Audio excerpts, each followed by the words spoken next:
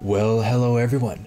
So as you can tell on screen, the video is a lot shorter and the reason being for that is that the rabbit hole building that I ended up using did a lot of the work for me, which you know, at this point is kind of a nice little break on my end here.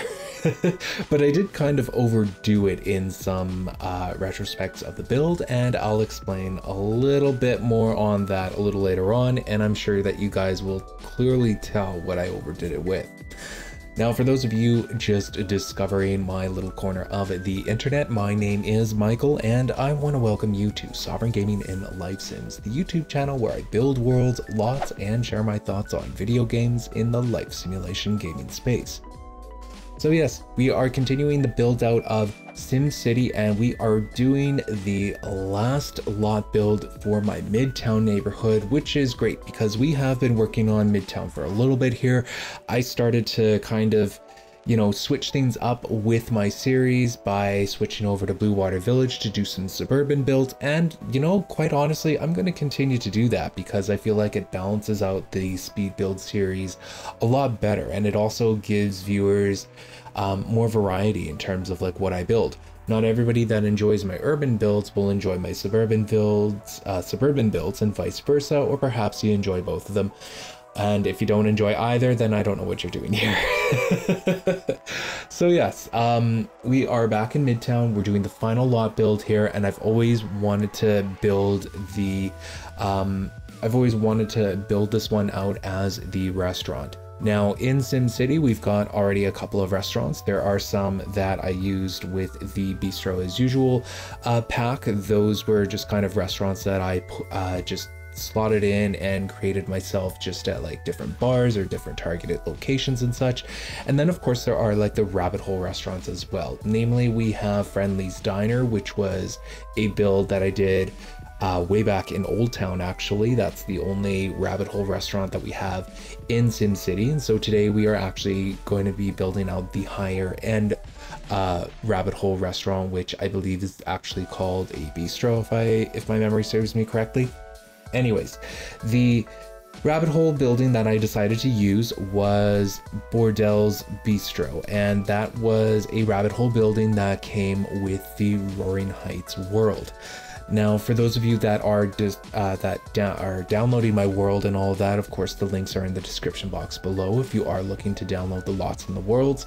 Um, but the when it comes to downloading my world, you're really just not going to have a good time unless you also have the Roaring Heights um, world downloaded from the Sims 3 store. And I recommend the gold version so that you get the roller coaster and the other um, premium content items as well. And the reason being for that is really that I use just a shit ton of the Roaring Heights stuff. And I use a lot of their objects, even the wallpaper that I use for the paneling uh, for panel walls, you know, in several of my builds come from Roaring Heights. So that is honestly the number one world that I would recommend you getting if you don't get any.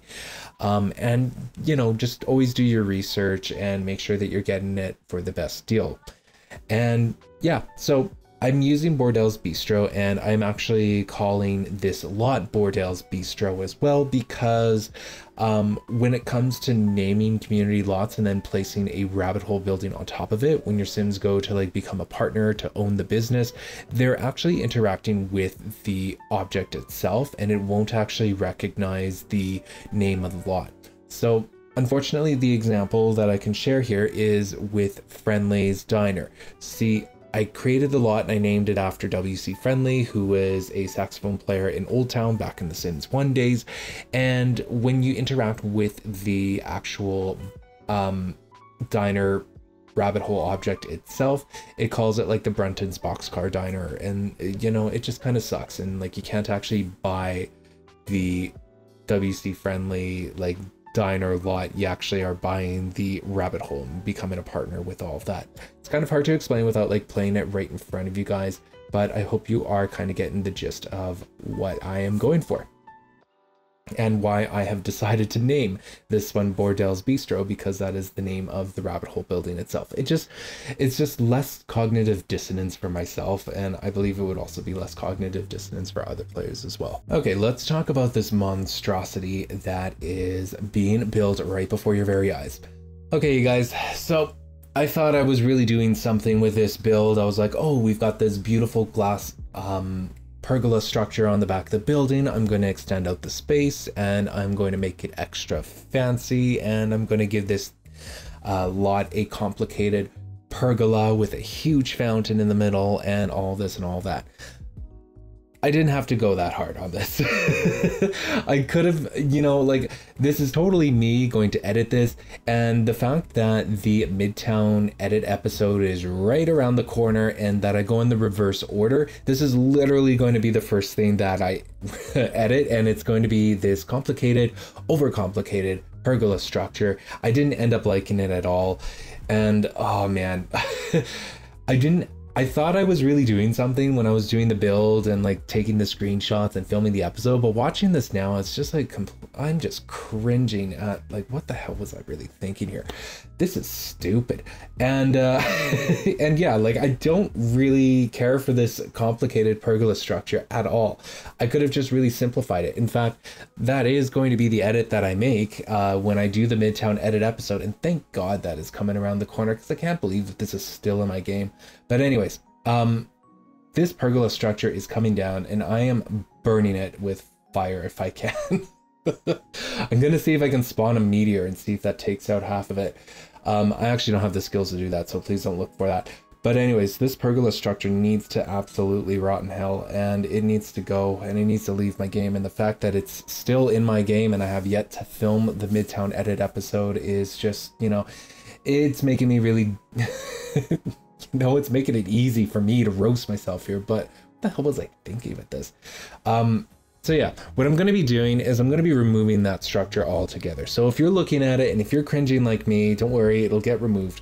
Um, but it won't be removed for this episode. So I guess we just gotta like, man, we just really gotta like deal with it this episode. So yeah, this pergola structure is getting removed my plan to edit this is I'm actually going to remove the pergola structure altogether. I'm going to keep the fountain. I'm going to see if I can get away with keeping the fountain because I do like the fountain where it is.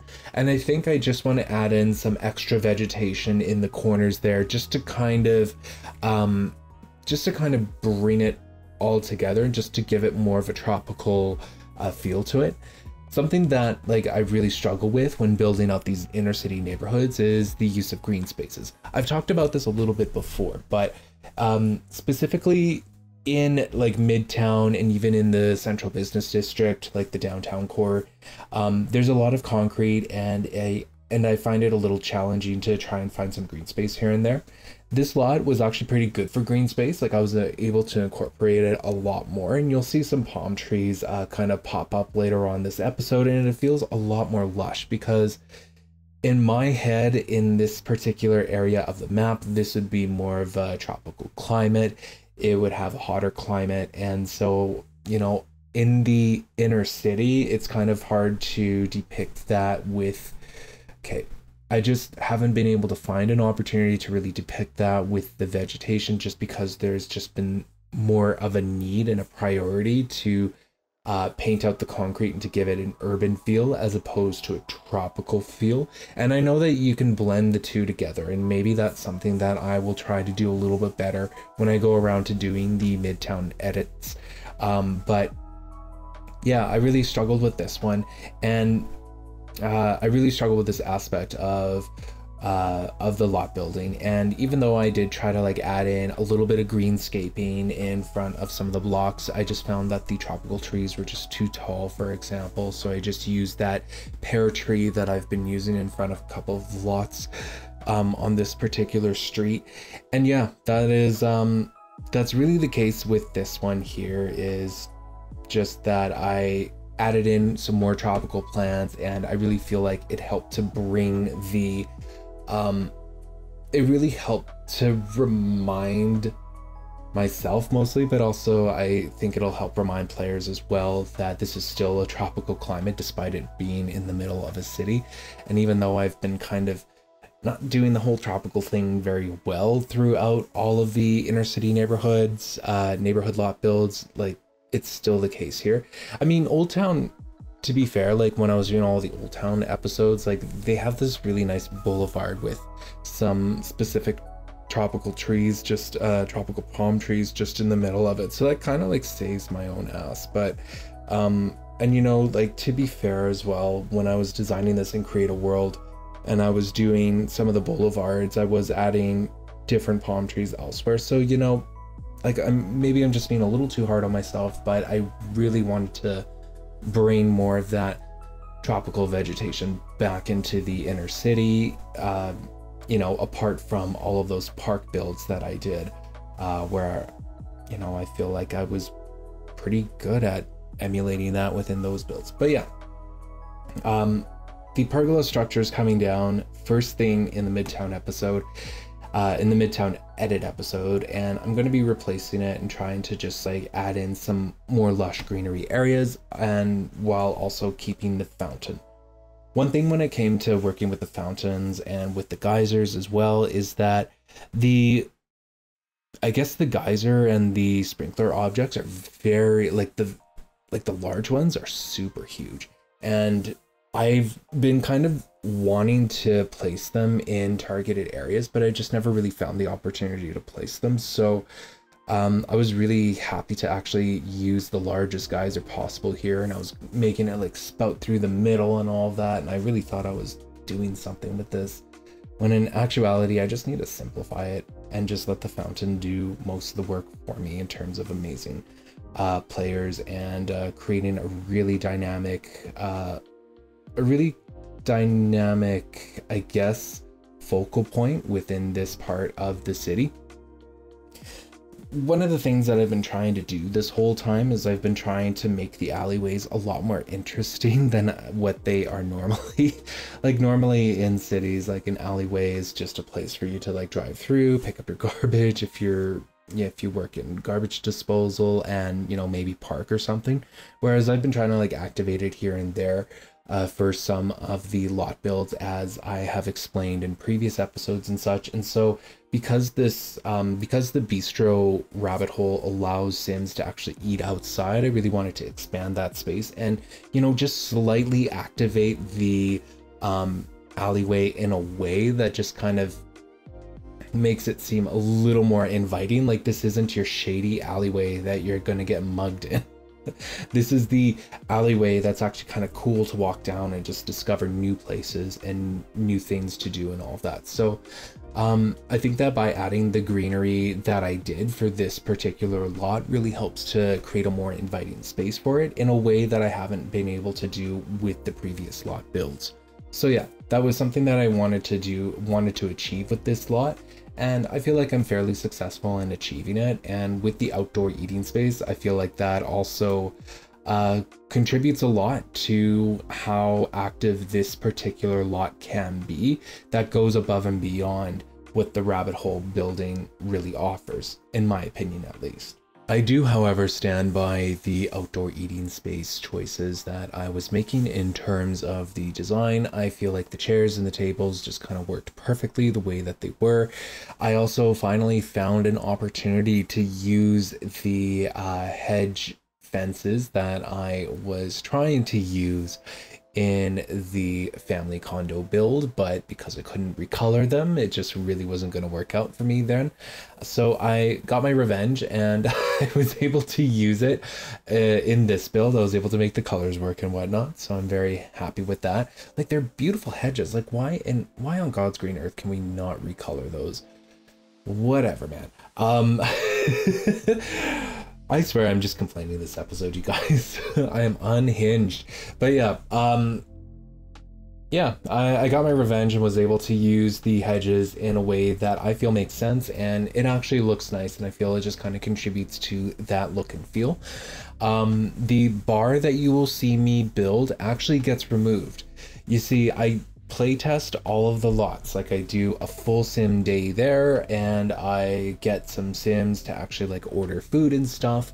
And the bartender, I guess, never spawned maybe that works in other people's games and maybe I just didn't play test it long enough. So if you've ever placed a bar in your game on a community lot that's classified as visitors allowed and you drop in a uh, restaurant rabbit hole building on top of it and you can get a bartender to spawn comment below i would be very curious to see if that's even possible but when i was doing the testing it just wasn't actually spawning a bartender which is what i really wanted there but it doesn't happen, so the bar gets removed. I replaced it with fountains instead, um, just like some of the late night fountains that are in the decorative objects thing. That might be a corner that gets redone, but I don't want to add in more seating because the seating is already kind of overkill anyways, and I knew it was always going to be overkill just based on um, based on how many Sims actually will visit restaurants and stuff, but I wanted it to be somewhat realistic at the same time in terms of the scale. So yeah,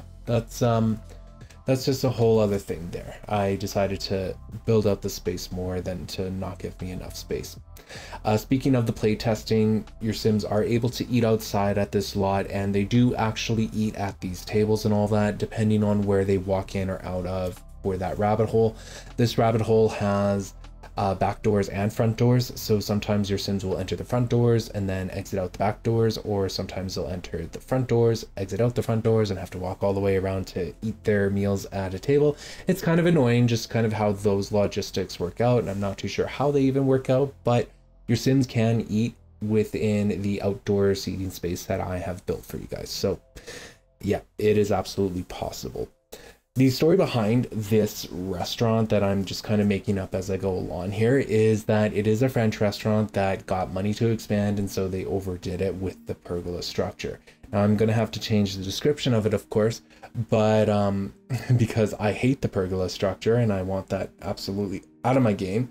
Um, but I am kind of leaning towards the idea of Bordels, the restaurant that got a lot of money to expand because they just became this hit restaurant and so they just kept building and building and building. So yeah, that's sort of the lore story I'm going with and if you have any suggestions on that, feel free to sound off in the comment section below. But yeah, uh, speaking of the rabbit hole uh, object itself, the rabbit hole and the foundation really don't mix well. In an ideal world, I'd be able to adjust the back doors so that they level off at the same level as the foundation that I built the outdoor seating areas on, but because that just simply isn't possible and because it'll like mess up your game and well not mess up your game, but because you're it'll like fracture the Sims pathing patterns and all that, I decided to separate it. And I also wanted uh, the seating on a foundation because I wanted an additional level of separation from the alleyway because this is supposed to be, you know, quote unquote, the fancy restaurant. I don't want Sims eating in an alleyway that has dump trucks like driving through it and all that. I want at least there to be a level of separation from that so that it doesn't impact a Sims eating experience. So, so that was kind of the thought process that went behind that. Speaking of which, there was a vote that I put on um, my channel regarding a name. And so those results are going to be published um, just right in front of us right now. I was asking for some names. Uh, I think I just called it a poll, but I didn't even host a poll. I just really like this particular name. But there was a couple of names uh, that I was suge- uh, asking for for street names and such. And so I've got like a bunch of really great suggestions there. Shang Simla Way was a really excellent suggestion, and that's something I'm going to use in the future. Um, however, the suggestion I'm going for for the Midtown street that this uh, building actually sits on is going to be Crumplebottom Avenue. Now I know what you're thinking. I've overdone it with the Crumplebottoms, and yes, I agree. I agree. I agree. I have done a lot of lots and named them after the Crumplebottoms. There's the Crumplebottom library, the tea house, and now there's Crumplebottom avenue. so I am doing this one last thing here for the Crumplebottom family, who is honestly my favorite NPC family ever because Mrs. Crumplebottom is a real OG and you know there's not enough dust in her purse to ever you know to ever make me not bored of her and she was like a staple in the Sims 2 so and in the Sims 1 as well so yeah Mrs. Crumplebottom is the best. And so I'm calling this Crumplebottom Avenue, but I am totally saving Shang Simla Way um, for some addresses in the future, like when I get to the Far East neighborhood there, because that is actually going to be next on our list in terms of what we're building and all of that. And I'll explain that in just a minute here. But yeah, thank you to everybody who um, who had given a suggestion for different street names there. Obviously, like I'm going to be asking for more street names as we go along here, just because I am drawing a blank. And a big reason why I chose Crumplebottom Avenue is because the street just north of this I called Landgraab Boulevard. So I just kind of wanted to actually name it after some of the um, the founding families. I guess I'll have to like to be fair, include the Altos and the Goths at one point. But hey, you know, I'll cross that bridge when I get there, and I bet you, you know, I'll probably just use those names throughout whenever I feel like it. So yeah, that's uh, really great for all of those that suggested a name. You guys are awesome. I do appreciate it. Thank you so much. But yeah, this uh, this restaurant here, Bordels, sits on uh, Crumplebottom Avenue. Oh, and by the way, I've decided to make avenue uh, like names that include avenue in them to be west to east facing streets, and then um, and then other roads that go north to south I'll call like whatever street. So, you know, we've got Landgraab. Oh, sorry, we've got Crumplebottom Avenue here. I might call the street that's west to east. South of this, like, I don't know, Goth Avenue, but for the street that's heading north to south, I'm gonna call it something like Main Street. So yeah, streets are north to south, avenues are east to west. I think I overcomplicated my explanation there, so I do apologize. Like I mentioned before, this episode is really short and sweet, which is kind of a nice change of pace considering I've been giving you guys like our episodes back to back. And really, I can just credit it to the Roaring Heights um, rabbit hole object just kind of doing most of the work for me. So, you know, this is a nice break for me as well, even though, you know, I overdid it on the damn pergola structure. Man, that is like number one on my list of like to throw things into the fire. So yeah, um, I'm done complaining about that as we are getting to the end of the episode. I will actually mention uh, now that I'm here that we are going to head back to the Blue Water Village for next week's episode. I want to build out a two story single family home for you guys. I think that that will, um, yeah, I think that you guys will really enjoy that. I know I'm going to really enjoy it because I'm going to go back to my comfort zone and do a neutral palette, which is what I love to do. And, you know, I prefer two stories uh, over bungalows because I just find that two stories are easier to build for me anyways. And I think that they just make they just look nicer to me. So I can't wait to actually do that with you guys. It'll show you guys that I got some sort of uh, house building skill here because like even though like I have done some really great builds in the past, like sometimes I just like to, you know, build something that people are expecting to look nice as something nice. I hope that's making sense. Anyways, next episode, we are going back to Blue Water Village where I will try to live up to the words that I just tried to gas myself up with. So yeah, a two-story uh, single-family home is totally on the agenda and I am very excited for that. There's a neutral palette waiting for me and I can't wait to actually start filming that because at the time I'm doing this, I haven't filmed it yet. But yeah, that's going to about do it for today's episode. If the tours aren't already playing, then feel free to stick around for those. I've again tried to capture more of the inner city within the tours just to kind of give you guys like a better overview as to where we are with Midtown and where we could be going in the future. I'll tease more on that uh, at a later time though. But in the meantime, I just want to say thank you so much for watching, and I hope you have yourself a wonderful day.